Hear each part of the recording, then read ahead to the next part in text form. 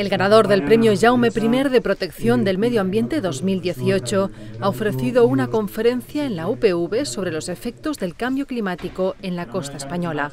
Íñigo Losada, director de investigación del Instituto de Hidráulica de Cantabria, ha hablado de los fenómenos costeros, que cada vez son más violentos, y su efecto sobre las infraestructuras. Los factores más importantes son el aumento del nivel medio del mar, que tiene unas consecuencias físicas, por así decirlo, muy relevantes, pues condiciona un aumento de los eventos de inundación y de la erosión, pero luego hay otro factor también muy importante, que es el incremento de la temperatura, que tiene un efecto sobre los ecosistemas muy relevante. En el caso de la zona del Cantábrico, el mayor problema es el aumento del nivel del mar y el caudal de los ríos, que provoca cambios en la morfodinámica de las zonas más vulnerables, las rías y su ecosistema.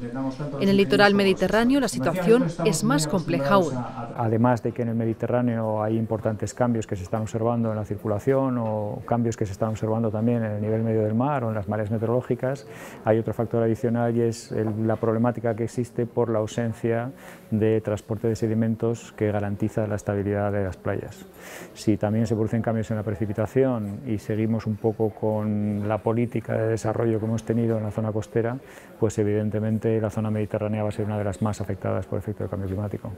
Ante esta situación, la ingeniería en general y en concreto la de caminos, canales y puertos es imprescindible para buscar soluciones que palien la situación. La formación específica que tenemos es una formación que está destinada a conocer el medio ambiente, el territorio y su interacción con el medio construido.